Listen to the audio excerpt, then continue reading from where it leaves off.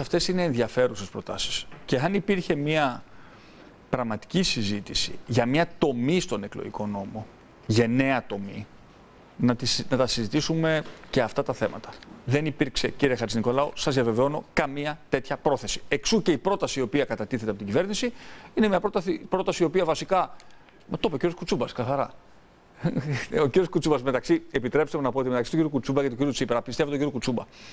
Θα μου πείτε, μπορεί να είναι υποκειμενικό, μπορεί να είναι υποκειμενικό αυτό, αλλά αυτόν, ε, όταν είπε λοιπόν ο κ. Κουτσούμπας, αποκάλυψε την αλήθεια, ότι του είπε ο κ. Τσίπρας ότι ε, δεν έχω κάνει και τίποτα για την αριστερά μου. Πρέπει να του δώσω την απλή αναλογική γιατί εφαρμόζω άλλη πολιτική. Δεν έχω καμία αμφιβολία ότι αυτό υπόθηκε. Το ερώτημα είναι αν αυτό υπηρετεί τα συμφέροντα της χώρας. Επειδή μιλήσατε προηγουμένως για